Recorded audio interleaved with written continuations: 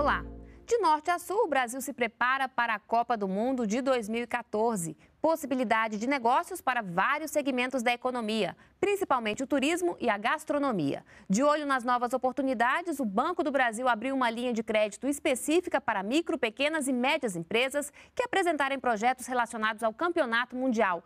O FAT Turismo é o assunto de hoje do NBR Entrevista. Aqui no estúdio eu recebo Asclepio Soares, gerente executivo da Diretoria de Micro Pequenas Empresas do Banco do Brasil. Tudo bem?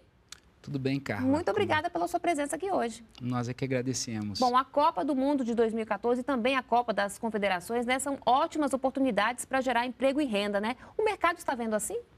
Isso mesmo, Carla. Na realidade, o que a gente sempre diz no banco é que o recurso, o dinheiro, ele não cria oportunidade. A oportunidade ela já existe. O recurso que vai para o empresário é justamente para que ele aproveite essas oportunidades.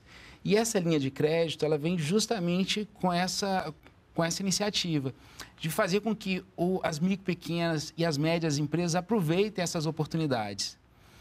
É, esse recurso, né, que, tá, que é uma parceria do Banco do Brasil com o Ministério do Trabalho e Emprego, por meio do CODEFAT, é, é uma linha vocacionada para financiar os investimentos das empresas. E o que, que o FAT Turismo oferece? Bom, ele financia é, diversas, diversas, é, diversas necessidades das empresas. Então, nesse momento agora, e ela é uma linha é, é direcionada para o turismo, ela pode financiar, por exemplo, é, um curso de língua estrangeira para os empregados da empresa, a qualificação é, desses empregados, é, pode financiar obras, pode financiar veículos. O que a gente, o que a gente espera é, é que a, haja um dinamismo da economia, que possa, e que com isso né, as empresas possam aproveitar, possam crescer, e é algo que vai permanecer, quer dizer, ele passa, a, vai além da Copa das Confederações, vai além da Copa do Mundo. E quem é que pode ter acesso a esse financiamento, a essa linha específica de crédito? Bom, quem pode ter acesso a essa linha de crédito? São as empresas que faturam até 25 milhões de reais por ano. São aquilo que nós chamamos de micro, pequenas e médias empresas, que são essas empresas que faturam até 25 milhões de reais por ano. E vale para empresas que já estão no mercado ou quem está querendo abrir um negócio também tem acesso a esse financiamento ou não? É só para quem já está no mercado? Vale para quem já está no mercado e vale também para aquele empresário que pretende montar o seu negócio. E é direcionado a que setores? Vamos dar exemplos, né, para ficar bem claro. Ah, isso é muito, é muito, é muito importante. Ela é bem abrangente, né? Então, vale para isso que eu falei para você, né, que para qualificação, para algo que é muito importante, né, porque é, espera-se que com, com a, a Copa da, das Confederações, a Copa do Mundo, o Brasil seja muito visitado, né, principalmente por turistas estrangeiros. Mas vale também, e é, uma, e é por isso que a gente fala que é uma linha que, que, que ela veio na hora certa. Ela vale também para aquela pequena indústria que vai fabricar um brinde, um boné, uma camiseta. Eu não sei se você sabe, mas tem que ser pago um royalty para a FIFA, para usar a marca da Copa do Mundo. E a linha pode financiar até mesmo esse, esse royalty. Comprar uma máquina, fazer uma pequena reforma. E aí nós estamos falando de pequenas, de, de pequenas pousadas, hotéis, comprar um veículo, até mesmo embarcações podem ser compradas é, com esse recurso. É para se modernizar e se preparar né, para o evento futuro, ou seja, vai deixar um legado, né? Exatamente, é isso que se espera, né? Porque nós esperamos que aquelas pessoas. É, é, existe um, um, um dado que o turista, quando vem para a Copa do Mundo, ele não vai só para aquela cidade sede que ele está se, se, direcionando, ele vai, no mínimo, a três outras é, localidades, a três outros pontos turísticos. E aí é uma, uma questão muito importante. A linha ela não está circunscrita a apenas as sedes da Copa do Mundo. Então, todo o Brasil pode se beneficiar dessa linha de crédito, todas as empresas brasileiras, desde que elas tenham projetos que estejam vinculados à Copa do Mundo ou à Copa das Confederações. E quais são as vantagens né, de quem tiver acesso a essa linha de crédito? Bom, eu diria que são várias vantagens. A primeira delas é o custo financeiro. Nós estamos falando de uma linha a partir de 0,82% ao mês. A outra grande vantagem da linha de crédito, o prazo, até 84 meses para pagar, com até 24 de carência. Significa o quê? É, o recurso sendo tomado é, agora, o empresário ele só vai começar a pagar depois da Copa do Mundo, né? O, o, ou seja, o empreendimento ele vai maturar, ele vai passar a ter os ganhos, os benefícios e aí sim ele vai começar a pagar. Então tem dois anos de carência. Ele pode até, por exemplo, recuperar esse dinheiro né, do investimento que ele fez com o próprio negócio, não é Pode isso? não, ele vai recuperar. É, na realidade, a linha é justamente para isso, né? É para que ele possa investir, com isso ele vai ganhar mais, né? E ele vai ter condições tanto de incrementar o seu negócio, ganhar mais, empregar mais, gerar mais renda e, com isso, pagar o financiamento. E é uma forma indireta também de você estar aquecendo a economia, gerando emprego, movimentando o mercado, né? Lógico. É, e quando a gente fala desse segmento de micro e pequena empresa, nós estamos falando da, da, de um segmento que ocupa a maior parte da população brasileira, né? É, mais de 50% da população brasileira é ocupada pela, pela micro e pequena empresa. Então, por isso que o Ministério do Trabalho, por meio do CODEFAT, olha com muito cuidado para esse segmento e o Banco do Brasil também, né? Porque nós temos uma diretoria de micro e pequenas empresas. Então, a partir dessa parceria e vislumbrando essas possibilidades que nós lançamos a linha agora em outubro. E esse mercado é importante né, para a nossa economia, né? esse segmento das micro e pequenas empresas. Né? Importantíssimo, né? importantíssimo. A gente está falando em algo em torno de 25%, de um quarto né, do, produto, do, do produto interno bruto brasileiro. Né? E com amplas possibilidades de crescimento. E esse dinheiro já está disponível? Já está disponível. É, e aí nós temos, nós, nós lançamos a linha em outubro, né, em meados do mês de outubro, lançamos a linha para capital de giro e uma linha para financiar os investimentos. A linha para capital de giro foi um, um, um sucesso, a linha para o investimento também. Os recursos para capital de giro, infelizmente, é, esgotaram-se né? Mas existem os, os recursos para o investimento, que é justamente para isso que nós, que nós conversamos aqui agora, é, para fazer todos esses investimentos. Estão disponíveis em qualquer agência do banco, tá? E aí basta que o empresário procure a sua agência de relacionamento, procure informações com o seu gerente, né? Para aí sim dar, dar sequência ao, ao, ao financiamento. Só para a gente deixar mais claro, qual a diferença né, de você do investimento e do recurso para o capital de giro?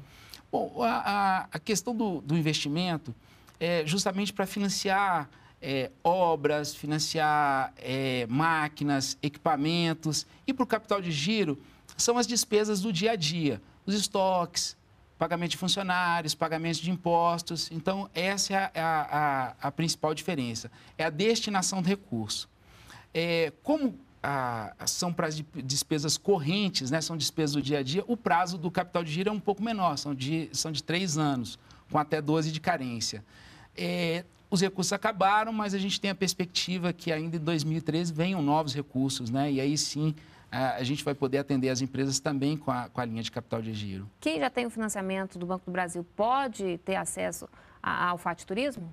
Ou não? Quem já tem outras linhas do banco também pode ter acesso à, à linha do, do FAT Turismo.